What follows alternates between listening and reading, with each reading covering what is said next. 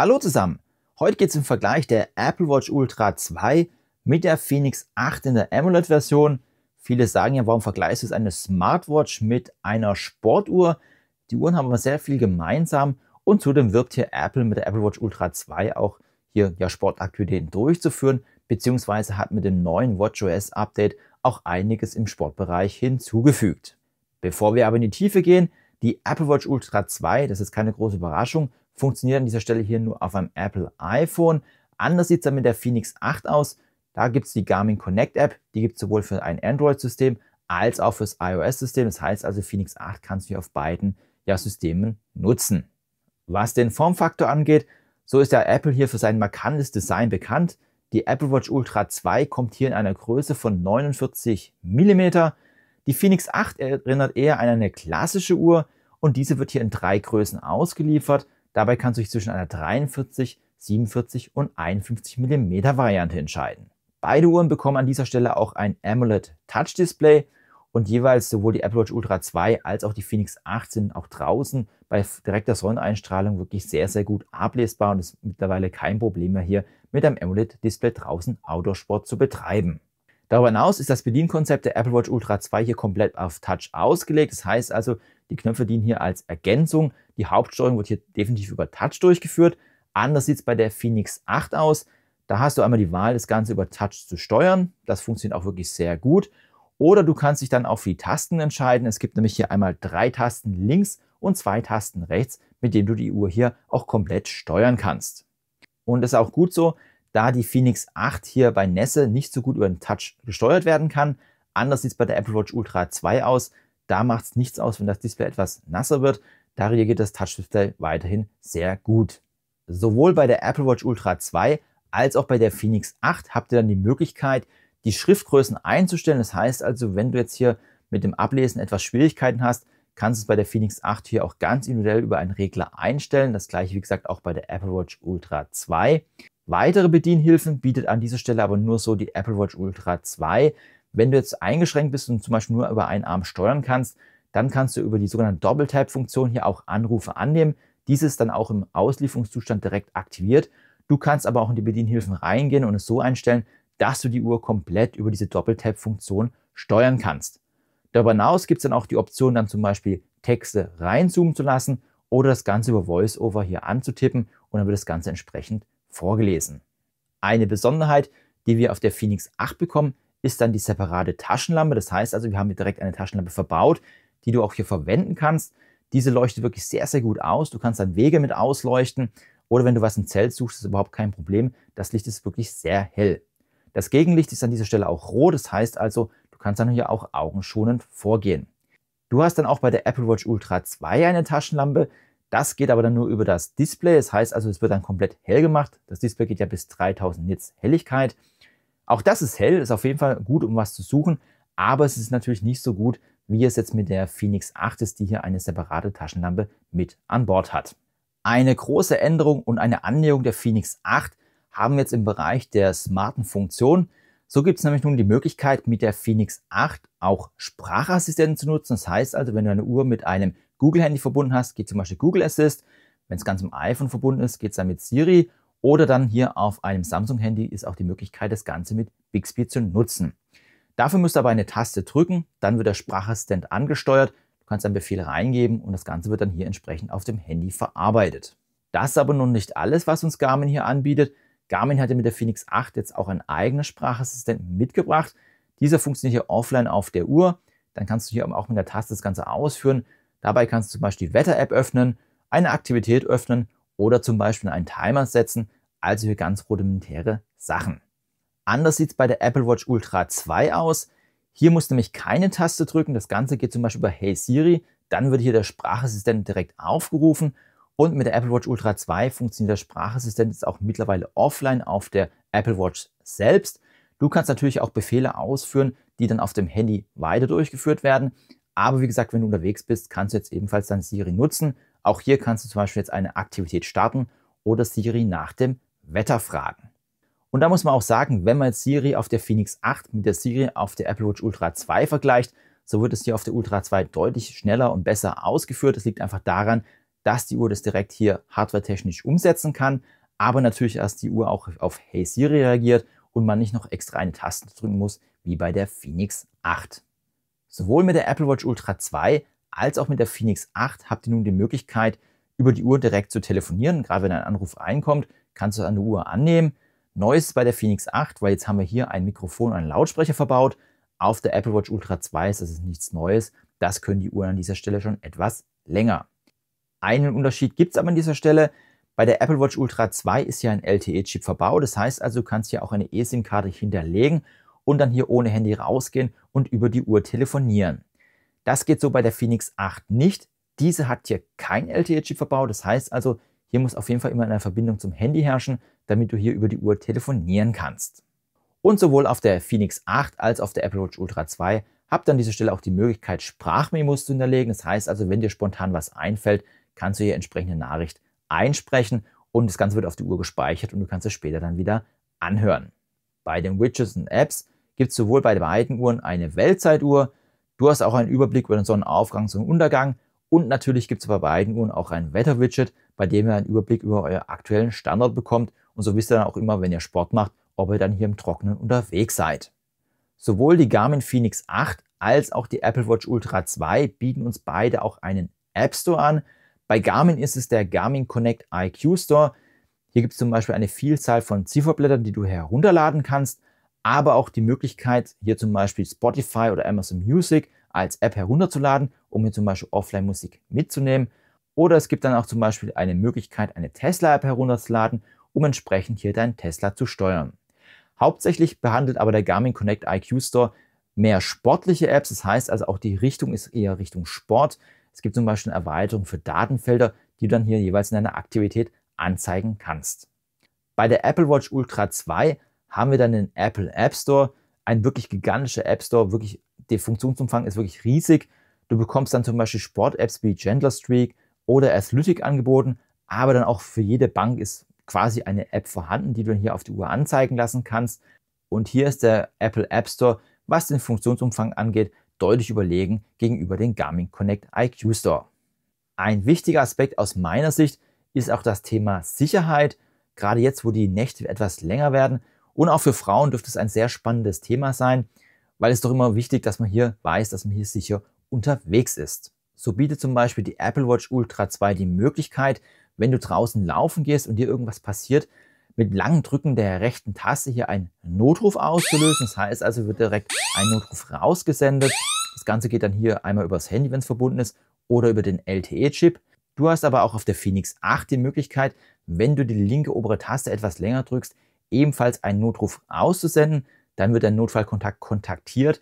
Nachteil hier ist aber, dass du dein Handy dabei haben musst, damit dieser Notfallkontakt herausgesendet werden kann.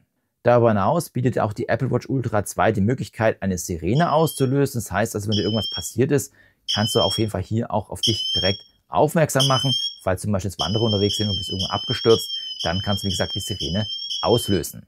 Im Bereich des Live-Tracks, also während der Aktivität, habt ihr auch bei beiden Uhren die Möglichkeit, das Ganze ja einem Kontakt zuzusenden. Bei der Garmin Phoenix 8 nennt sich das Ganze dann Live-Track. Hier wird dann eine E-Mail rausgesendet an die Kontaktperson, der kann dann draufschauen oder sie kann draufschauen, wo du gerade unterwegs bist. Bei der Apple Watch Ultra 2 gibt es seit dem neuesten WatchOS Update ebenfalls so eine Funktion. Hier gibt es nämlich die sogenannte Wegbekleidungsfunktion. Die kannst du einmal so einstellen, dass diese immer gestartet wird, wenn du laufen gehst oder individuell starten. Dabei bekommt deine Kontaktperson via iMessage dann eine Mitteilung, dass du jetzt einen Lauf durchführst und sollte der Kontakt abbrechen, das heißt also keine LTE-Verbindung mehr da sein oder das Kontakt zum Handy verloren gehen, dann wird der Standort entsprechend hier an die Kontaktperson gesendet, falls da irgendwas passieren sollte. Nachteil hier ist aber, dass das Ganze nur über iMessage funktioniert. Das heißt also, der Empfänger braucht auch hier zwingend iMessage, um das Ganze empfangen zu können. Anders sieht es bei der Phoenix 8 aus. Die E-Mail ist dann ungebunden an ja, Android oder Apple oder am PC. Das ist völlig egal. Hier kannst du mit jedem System abrufen, wo du gerade da unterwegs bist. Und solltest du dich mal mit der Apple Watch Ultra 2 oder mit der Phoenix 8 verlaufen, so kannst du zum Beispiel bei der Apple Watch Ultra 2 über die Kompassfunktion dich wieder zurück navigieren lassen oder dann bei der Phoenix 8 über die Aktivität die entsprechend hier auch da zum Start zurück navigieren lassen. Und möchtet ihr eine Aktivität auf der Phoenix 8 oder Apple Watch Ultra 2 durchführen, So gibt es hier wirklich eine große Vielzahl an Aktivitäten, die du hier auswählen kannst. Beide Uhren bieten natürlich die klassischen Sachen wie Laufen, Radfahren an, sowohl Indoor, Outdoor, aber auch Multisport ist bei beiden Uhren hier dabei, als auch zum Beispiel Yoga oder Mannschaftssportarten kannst du ebenfalls hier mit den Uhren tracken. Das ist an dieser Stelle hier kein Problem. Sowohl die Apple Watch Ultra 2 als auch die Phoenix 8 bieten zum Beispiel auch die Wattmessung am Handgelenk an. Das ist gerade für interessant für die Leute, die im Gebirge unterwegs sind. Aber auch Laufeffizienzwerte werden von beiden Uhren unterstützt. Und du hast natürlich auch die Möglichkeit, bei beiden Uhren hier die Pulsbereiche anzeigen zu lassen, damit du das Ganze auch hier beim Training steuern kannst. Was uns die Phoenix 8, aber die Apple Watch Ultra 2 dann nicht bietet, ist während der Aktivität auch den sogenannten Stamina-Wert. Das ist ein Wert, den bekommst du einmal beim Radfahren angezeigt, wenn du ein Leistungsmesser hast, oder auch beim Laufen. Hier bekommst du nämlich ganz gut deine Restkraft angezeigt, beziehungsweise die Uhr rechnet entsprechend hoch, wie lange du noch eine Aktivität durchführen kannst mit deiner aktuellen Pace. Und so kannst du auf jeden Fall hier deinen Lauf sehr gut einteilen.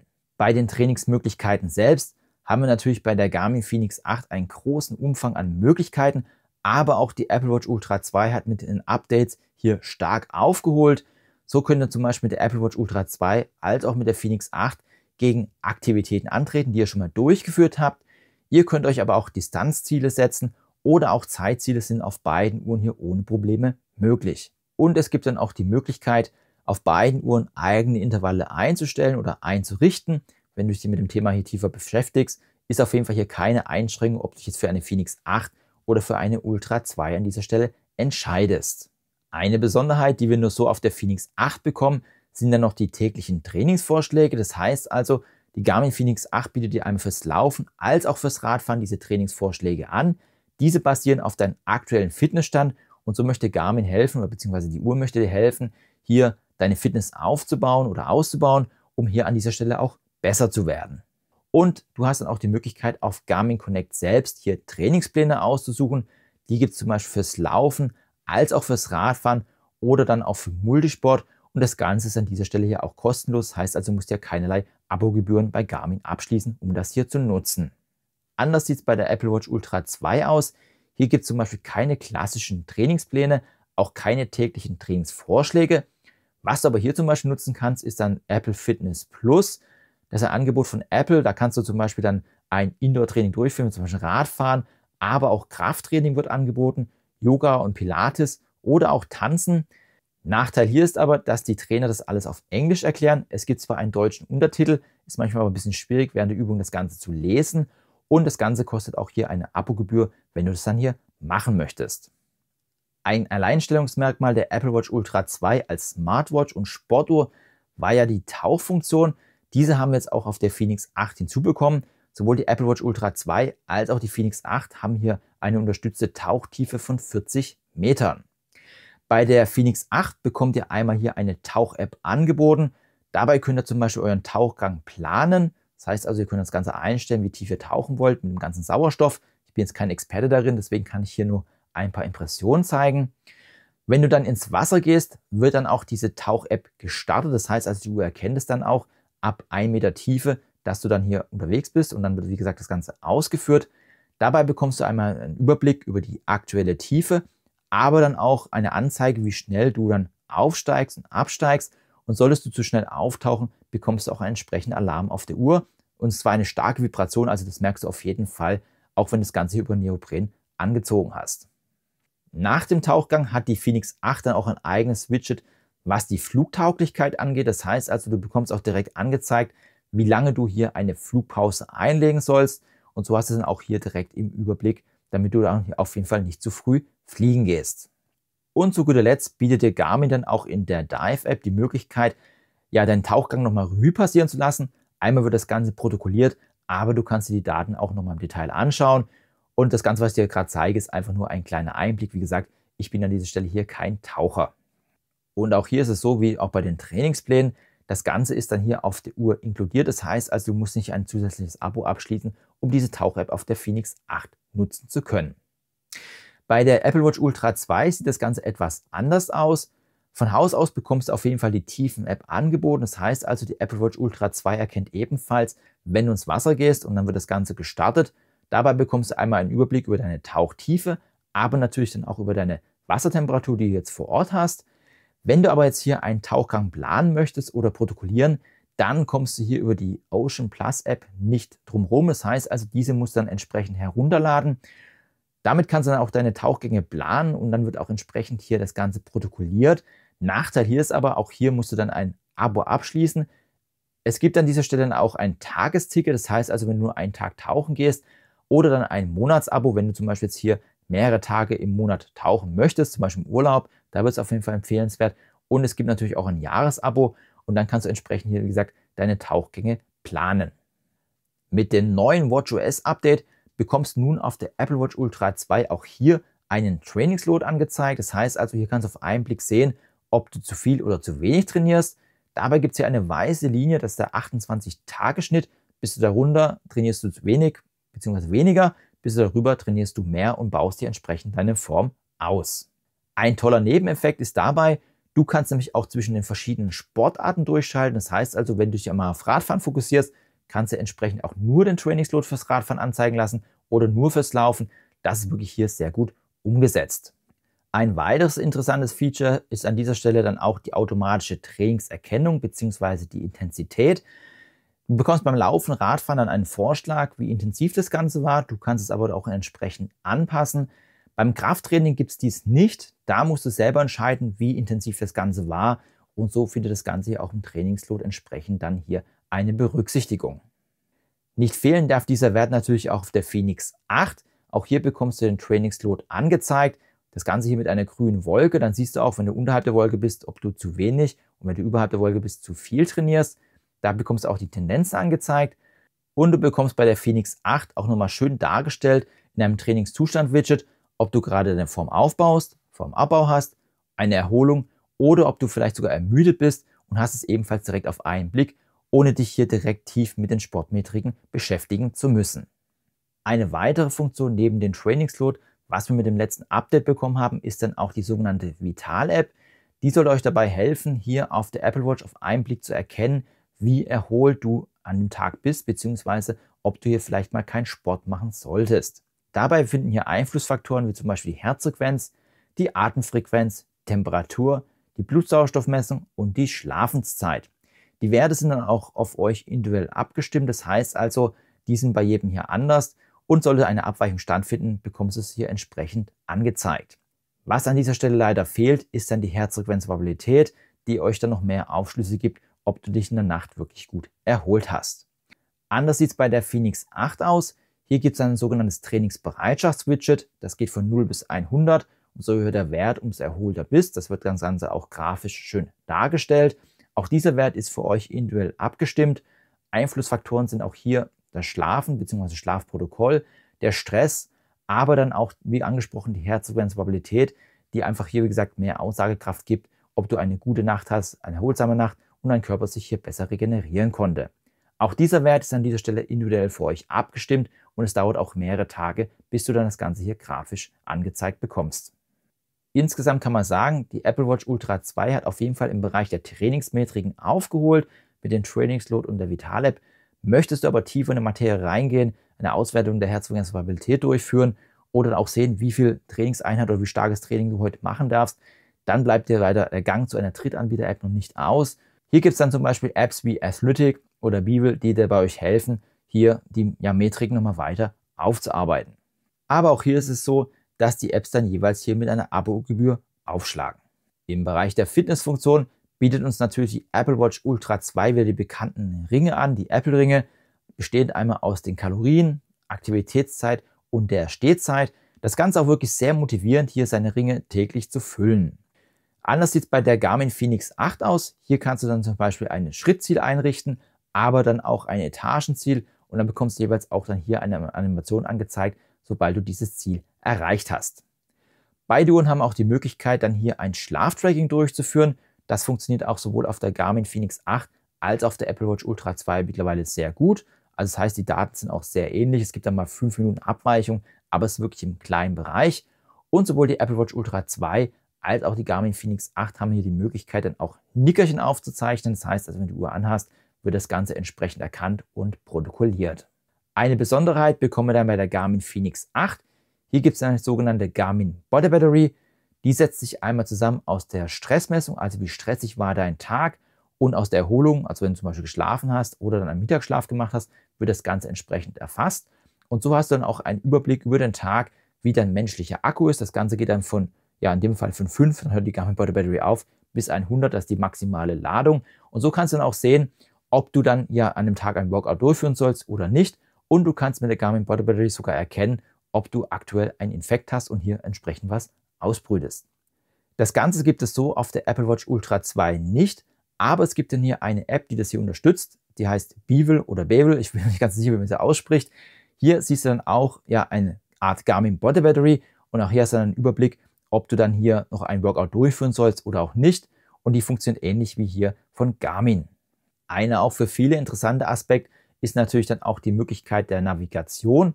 So bietet uns die Apple Watch Ultra 2 einmal hier die Apple Karten an. Das heißt also, du kannst dann zum Beispiel hier, wenn du in der Stadt bist, einen Punkt auswählen, eine Navigation starten. Diese wird auch direkt auf der Uhr durchgeführt. Dabei siehst du einmal hier dann, wo du hinlaufen möchtest, aber natürlich bekommst du auch die Abbiegenweise per Vibration angezeigt und du siehst dann auch, wie dann die Restdistanz ist zu deiner Strecke.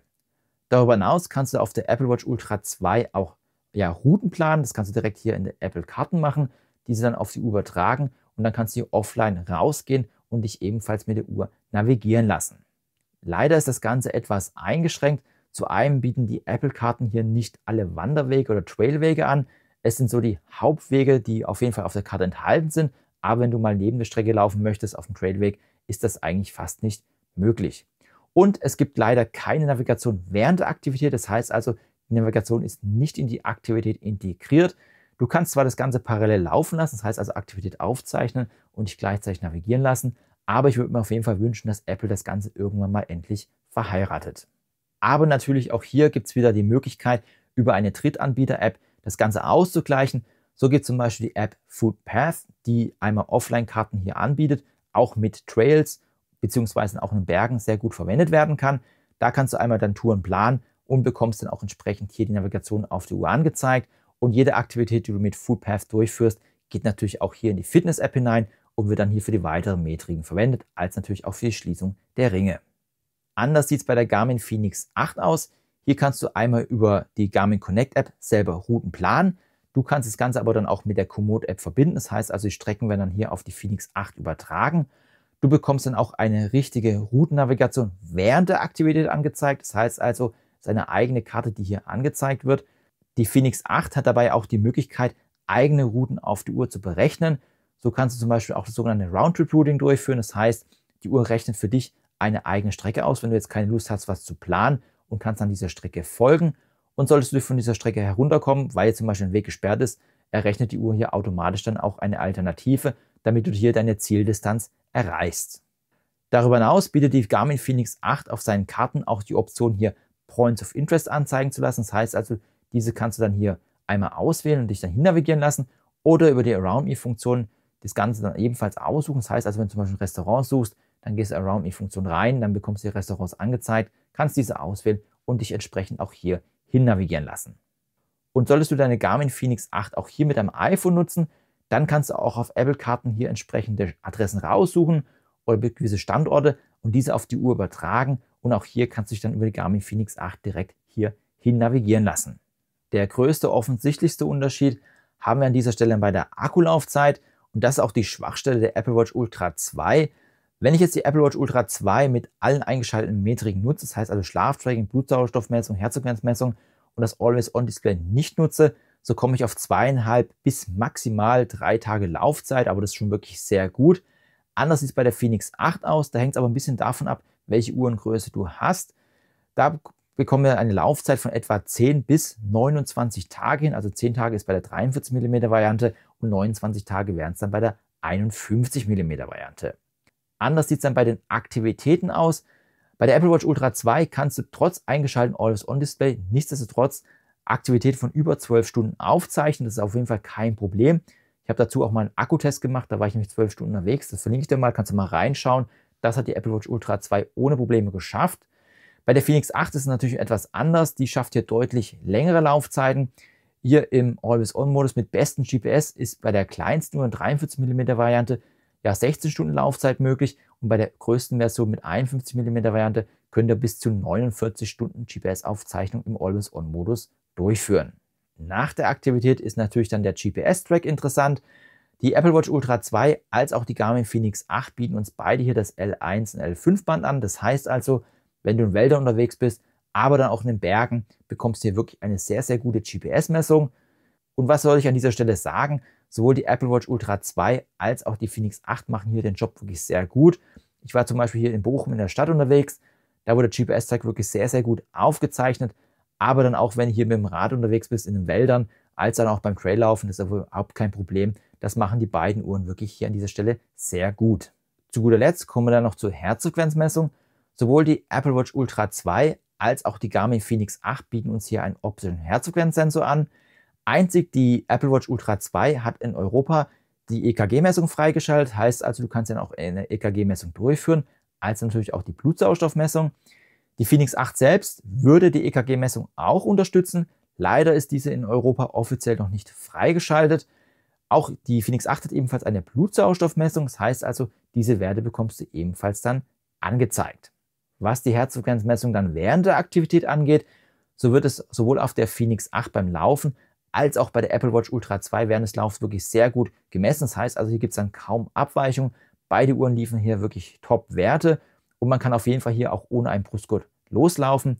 Schwierig wird es dann eher im Winter, das heißt also, wenn die Temperaturen jetzt wieder kühler werden, da würde ich auf jeden Fall einen Brustgurt empfehlen. Aber im Frühling, im Sommer ist das auf jeden Fall hier kein Problem. Das gleiche ist dann auch beim Radfahren. Sowohl die Apple Watch Ultra 2 als auch die Phoenix 8 bieten uns hier wirklich sehr gute Werte an.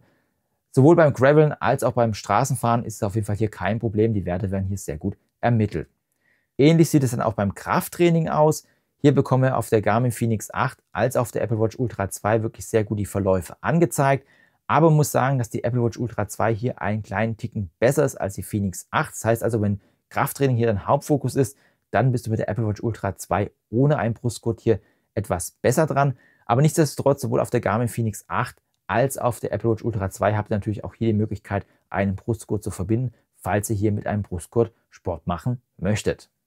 Und da komme ich auch zu meinem Fazit der Apple Watch Ultra 2 und der Phoenix 8. Es ist immer noch so, dass die Phoenix 8 wirklich hier die vollwertige Sportuhr ist. Viele Funktionen wie zum Beispiel Navigation, aber auch das Tauchen oder auch Trainingspläne sind hier wirklich im Preis inkludiert. Das heißt also, du musst hier jetzt nicht extra Abos abschließen.